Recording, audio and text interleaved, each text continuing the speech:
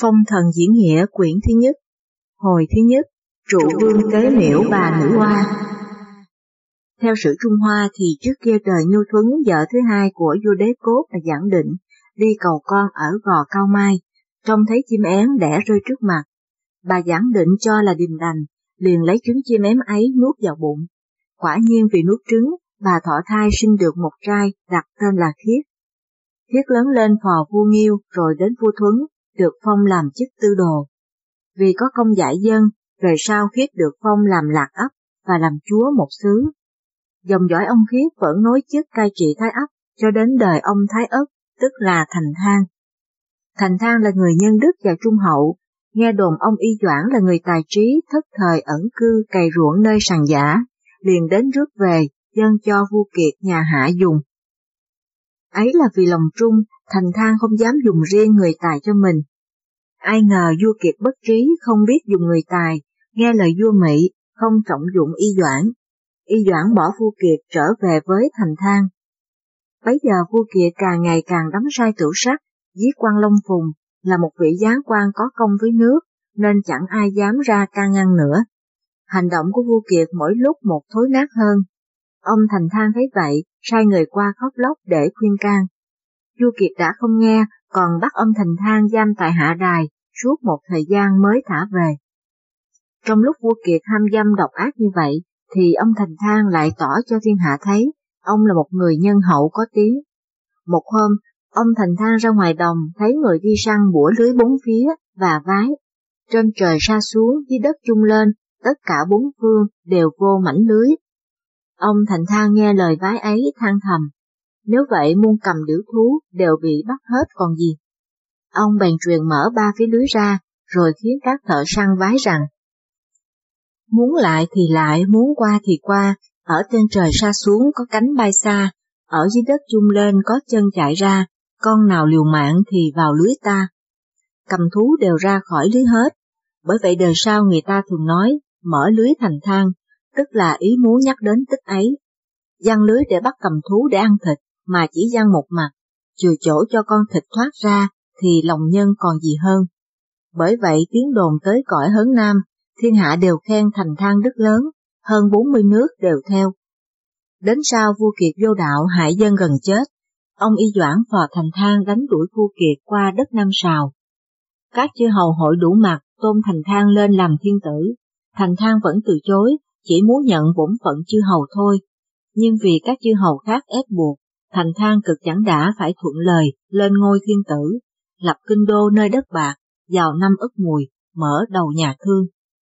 Vua Thành Thang bỏ các điều luật ác hiểm của vua Kiệt, đặt ra những việc dân ưa dân mến, lấy đức trị dân, nên ai nấy đều theo về cả.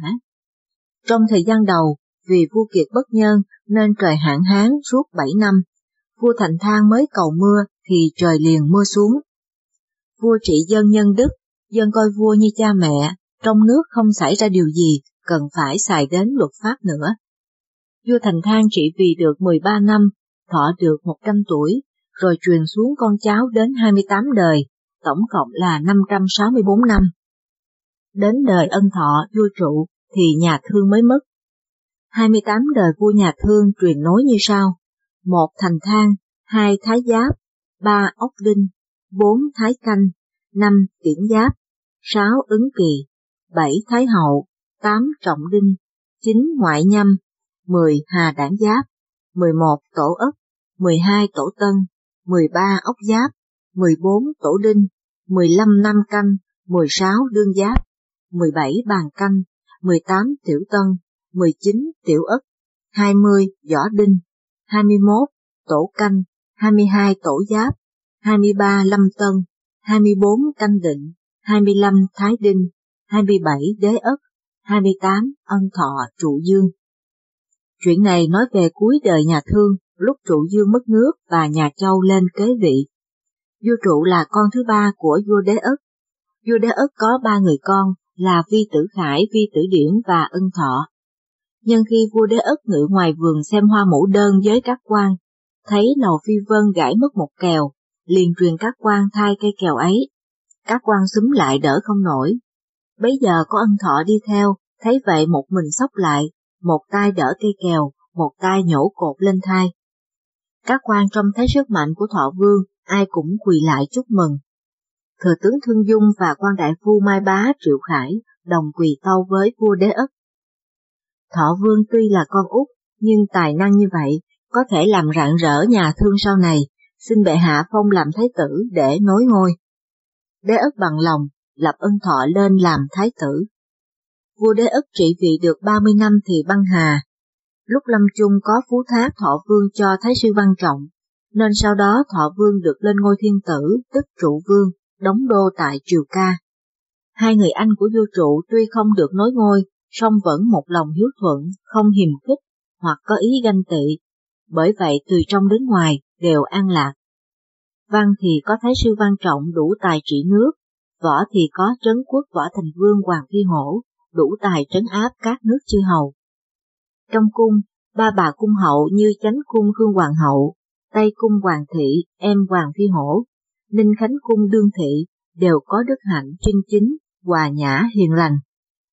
Vua trụ ngồi hưởng thái bình, muôn dân lạc nghiệp, mưa hòa gió thuận, tưởng không có gì sung sướng hơn. Bấy giờ nhà thương cầm đầu một số chư hầu, gồm bảy trăm trấn, chia làm bốn cõi, có một chư hầu lớn thay mặt nhà thương điều khiển. Bốn trấn chư hầu lớn gồm có một Đông Bá Hầu Khương Hoàng Sở, cha của Khương Hoàng hậu. 2. Nam Bá Hầu Ngạc Sùng Võ. 3. Tây Bá Hầu Cơ Xương, Văn Vương. 4. Bắc Bá Hầu Sùng Hầu Hổ. Mỗi trấn chư hầu lớn cai trị gần 100 chư hầu nhỏ, cộng 700 trấn chư hầu. Sau khi trụ vương lên ngôi được 7 năm, thì có một số chư hầu nhỏ phía Bắc do viên phước thông cầm đầu nổi loạn. Thái sư Văn Trọng phải tuân lệnh đi đánh dẹp. Văn Trọng ra đi, việc triều chính thiếu người định đoạt, nên vua trụ thường gần gũi hai tên, Vưu Hồn và Bí Trọng, là hai tên su nịnh. Trước kia đã nhiều lần Văn Trọng can không cho vua trụ gần hai tên ấy. Một hôm vào tiết tháng ba, vua trụ ngự triều, thừa tướng Thương Dung Tâu. Ngày mai là ngày rằm, nhằm vía bà nữ oa, xin bệ hạ đi dân hương cầu phước. Vua trụ hỏi, bà nữ oa là người thế nào đến nỗi chậm phải bỏ ngai vàng đi dân hương? Thương Dung Tâu, bà nữ oa là em gái của vua Phục Hy, hiện là một vị thần linh hiển lắm. Trước kia cung công làm phản, đụng đầu vào núi đất châu, đất bị nghiêng sụp, bà nữ oa bèn lấy năm sắc đá giá trời. Bởi có công với đời như vậy, nên mấy triều vua đều lập miễu phụng thờ. Nơi nào thờ miễu bà, thì nơi ấy mưa thuận gió hòa, mối nước được yên, dân gian khỏe mạnh. Xin bệ hạ đến đó dân hương, chẳng nên khinh dễ. Vua trụ nhận lời. Nếu vậy mai cẩm sẽ đến đó dân hương cầu phước, sẵn dịp du ngoạn một chuyến. Hôm sau vua trụ truyền long giá ra đi, các quan đi theo phò tá rất đông. Ba ngàn kỵ mã tám trăm quân ngự lâm do Hoàng Phi Hổ điều khiển, trước sau đông nghẹt. Xa giá đến đâu, dân chúng đều thắp nhang đèn trước cửa vọng bái. Khi đến trước đền thần nữ oa, vua trụ bước xuống xe đến nơi chính điện, đặt một đỉnh trầm, và các quan đồng lại. Vua trụ trông thấy trong điện trang nghiêm lắm, những hình tượng toàn bằng vàng ngọc đứng hầu hai bên, những cặp con trai cầm phướng đúc vàng, những tượng con gái chạm bằng ngọc đứng chân hương. Trên điện không thiếu gì hạt múa loan xòe, rồng bay phượng lộn, đèn chân như sao mộc, khói tỏa như mây mờ, uy nghiêm chẳng khác gì đền vua.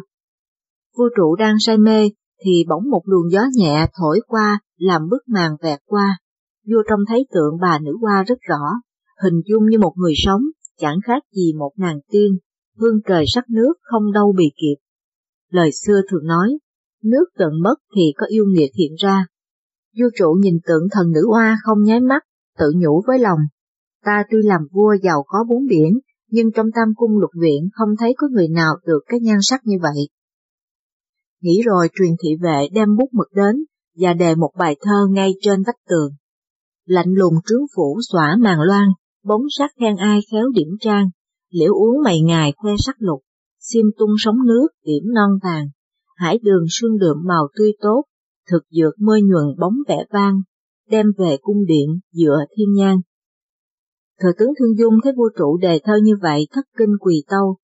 Bà nữ oa là thần thánh đời thượng cổ, tôi tưởng bệ hạ chỉ nên dân hương cầu phước cho mưa thuận gió hòa, sống trong biển lặng, còn việc đề thơ có ý kêu cợt như vậy không nên. Xin bệ hạ truyền lấy nước rửa đi, kẻo thiên hạ trông thấy truyền ngôn, cho bệ hạ không có đức chánh. Vua trụ nói, trẫm thấy tượng thần xinh đẹp đề một bài thơ tán thưởng chớ chẳng có ý gì khác, giả lại cẩm là thiên tử, cũng nên để lại mấy phần thơ này cho thiên hạ rõ nhan sắc của bà, và chiêm ngưỡng phần thơ của cẩm chứ. Dứt lời trường hồi loan, các quan không ai dám nói lời nào nữa. Về đến đền Long Đức, các quan chúc mừng, rồi ai về dinh ấy. Bấy giờ nói đến bà nữ oa đi lên cung hỏa vân chầu ba thánh là Phục Hy, Thần Nông và Hoàng đế. Khi chầu xong bà nữ oan trở về đền, lên ngồi nơi chánh điện, hai bên gái ngọc trai vàng làm lễ. Bà nữ oa nhìn qua bên vách thấy bài thơ của vua trụ, nổi giận nói, ân thọ hôn quân, không lo sửa mình trị thiên hạ, lại sanh tâm tà bậy, không sợ luật trời, thật đáng ghét. Trước khi vua Thành Thang đuổi vua Kiệt thu thiên hạ, hưởng dư 600 năm, đến nay tuần thời đã hết, nếu ta không báo ứng sao gọi là linh. Nói rồi liền đằng vân bay vào triều, cố vật chết vua trụ để rửa hờn. Nhưng vừa lất đến phía ngoài cung, nữ hoa gặp hai đạo hào quang xông đến cản lại. Hai đạo hào quang này là của ân hồng và ân giao. Nguyên vua trụ có hai người con, người anh là ân hồng, người em là ân giao, sau này đều được phong thần, nên mới có hào quang như vậy. Hôm ấy, hai anh em vào hậu cung chầu vua trụ. và nữ oa bị hào quang cản trở, tính ra mới biết vua trụ còn 28 năm nữa mới tận số, nên Đặng Vân trở về miễu. Tuy nhiên lòng vẫn căm tức không nguôi, bà liền gọi Thể Vân Đồng Tử lấy bầu vàng đem ra để giữa sân, dở nút, rồi đưa tay chỉ một cái. Tức thì trong bầu bay ra một đạo hào quang trắng phao như dải lụa, dài hơn năm trượng đạo hào quang lại hiện ra hình một cây phướng ngũ sắc tua tủa khắp một vùng. Phướng này gọi là phướng chiếu yêu. Trong giây phút sa mù bao phủ gió lộng ào ào, các yêu đều hiện đến. Bà nữ oa ra lệnh cho Thể Vân Đồng Tử bảo các yêu trở về động hết, chỉ chừa lại ba con yêu tại Mã Huỳnh Đế và cho vào ra mắt. Ba yêu vân lệnh, giàu quỳ lại xưng, chúng tôi là hồ ly ngàn năm, chim trĩ chín đầu, và đàn tỳ bà bằng đá ngọc thạch, đến chầu nương nương. Bà nữ hoa nói, nay cơ nghiệp thành thang đã mỏi mòn, vua trụ sắp đến ngày mất nước, núi Kỳ Sơn phụng gái nhà Tây Châu. Người đó là khí số do trời định. Ba chị em bay hãy giấu mình yêu quái trà trộn vào cung điện, làm cho trụ dương điêu đứng, đợi cho võ vương đánh trụ thành công, ta cho chúng bay thành thần. Song ta cấm một điều là không được tàn hại bá tánh, chỉ trả thù trụ vương thôi. Bà yêu vân lệnh đuôi ra, đằng vân về động. Vua trụ từ khi dân hương đền nữ oa trở về, mê bóng sắc hoa tượng, đến nỗi đêm ngủ không ngon, ngày ăn không được, coi ba cung sáu viện như cỏ rác, chẳng đoái hoài đến. Tâm tư canh cánh bên lòng, buồn bã không muốn nói chuyện với ai nữa. Ngày kia trụ dương đến đền hiển thánh có các quan quạng, theo hò trong lúc buồn bã, trụ vương sực nhớ đến vưu hồn bí trọng. Hai tên này thường nói nhiều điều vui tai, vua có thể nhờ hai người này tìm cách giải khuây được, bèn cho đòi bí trọng đến. Bí trọng lúc này là trung gián đại phu, nghe vua đòi liền ứng hầu ngay và tâu. Bệ hạ có việc gì cần sai khiến hạ thần? Trụ vương buồn bã nói, vừa rồi trẫm có đi dân hương đền nữ oa, thấy tượng nữ oa xinh đẹp, đến nỗi trong tam cung lục viện của trẫm cũng không có kẻ nào bằng. Nếu sắc đẹp ấy trẫm không được thưởng thức, thì dầu trẫm có làm vua cũng không toại nguyện. Khanh có cách gì giải buồn cho trẫm không? Bí trọng tâu, bệ hạ giàu có bốn biển, đức sánh thuấn nghiêu, mọi vật trên đời này đều là của bệ hạ hết, có gì mà bệ hạ không toại nguyện. Nếu bệ hạ cần một sắc đẹp tuyệt mỹ, thì bệ hạ chỉ cần xuống lệnh cho bốn trấn chư hầu, tuyển bốn trăm mỹ nữ đem dân, thì thiếu gì kẻ tuyệt sắc. Trụ vương nghe tâu rất đẹp dạ phán. À thế mà trẫm như ngu độn không nghĩ ra, thôi để ngày mai trẫm sẽ truyền như vậy. Rồi trụ vương trở về triều.